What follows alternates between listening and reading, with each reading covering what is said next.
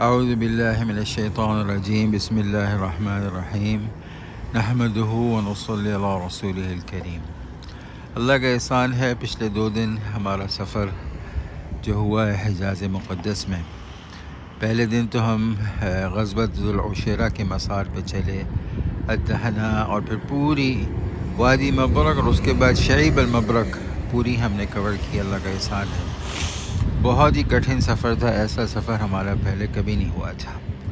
अल्लाह ने आसानी की, अल्लाह ने कबूल फरमाया। और आज का सफ़र हमारा यम नखल से फिर शुरू हुआ। दहना, उसके बाद जबल शारान, फिर वादी खुशरमा, जो कि दरबुलहाज शामी पे आती हैं। और वहाँ से फिर, माशाल्लाह, हम लोग वादी सफ़रा में चले। मुख्तलफ़ मकाम से होते हुए मदीक़ल सफ़रा तक पहुँचे और फिर वहाँ से वापसी ज़फ़रान असाफ़िर और दब्बा। तो बड़ा ही अजीब सफ़र था, माशाल्लाह। तो इस वक्त हम बदर में हैं, माशाल्लाह।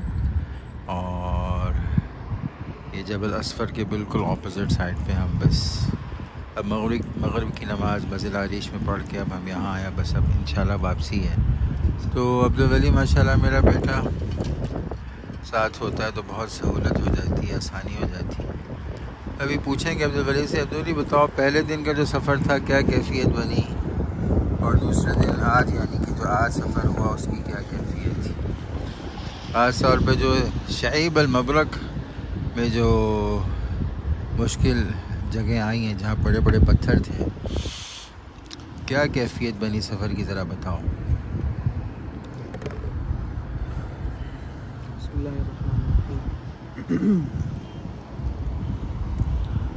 फ़र्स्ट ऑफ़ ऑल तो अगर देखा जाए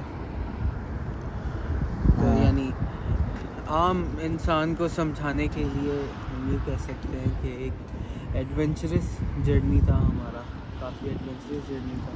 हाँ, और जिसको इस चीज़ का शौक़ है जिसको इस चीज़ का समझ है जिस जिसको समझ है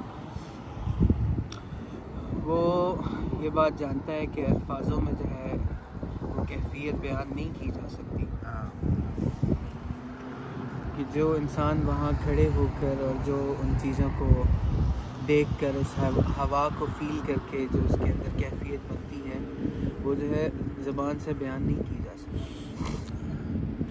उसके अलावा ये है कि शईब अलमबरक में क्या कैफियत बनी? शईब अलमबरक। जो पहाड़ों के अंदर सफ़र था अब्दुल वली जो बड़ा ही अजीब शहीब मबरक में ज़ाहिर सी बात है कि पत्थर ऐसे थे, जगह ऐसी थी, वादी ऐसी तंग थी, शहीद ऐसी तंग थी कि हमें खुद जो है पत्थर रख के और यानी पत्थर सीधे करके खुद हमें एक ट्रैक जो है, एक ट्रेल हमें खुद बनाना पड़ा।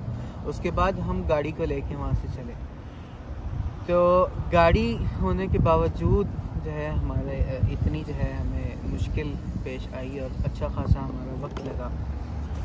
यानी हमें कितना चार पाँच किलोमीटर का पोर्शन था वो। नहीं वो नकब है खमसत अमियार यानी कि तकरीबन आठ आठ किलोमीटर सिर्फ़ वो जो पहाड़ों के दरमियान जो बहुत ही दयक है और बहुत ही तंग रास्ता है। और एक गाड़ी का रास्ता है वो अब दूसरी गाड़ी सामने से है क्रॉस नहीं कर सकती बाज़ मकाम ऐसे आते हैं। हाँ। है। हाँ एक गाड़ी का रास्ता है वो सर और हमने वो कितनी देर में कवर किया वो बस वो हमें तकरीबन उस आठ किलोमीटर में मैं समझता हूँ कि साढ़े तीन चार घंटे साढ़े तीन, चार घंटे हाँ, हैं। सिर्फ़ आठ किलोमीटर जगह जगह रुक के उतर के हमने किया है तो इस चीज़ से अंदाज़ा लगाया जा सकता है कि कितना जो है मुश्किल और हाँ। टफ जो है यानी। रसूलुल्लाह सल्लल्लाहु अलैहि वसल्लम ने बहुत कठिन सफ़र किए बड़े तकलीफ़ देने वाले सफ़र किए हैं, माशाल्लाह। और आज का जो सफ़र था हमारा री ज़फ़रान असाफ़िर अलदब्बा वो भी अजीब था, बहुत ही अजीब। वो इलाक़े, ये इलाक़े ऐसे हैं, अब्दुल वली, ये मबरक हो गई और ये जो आखिरी मनाजिल हैं गस्बा बदर की, यहाँ तो कोई भी नहीं जा सका। बहुत कम लोगों ने अप्रोच किया है इसको और कोई भल, बल्कि मैं समझता हूँ कि अक्सर लोग तो जानते भी नहीं हैं कि आप सल्लल्लाहु अलैहि वसल्लम वो सैंड डून्स के पीछे से सफ़र करते हुए बदर पहुँचे हैं।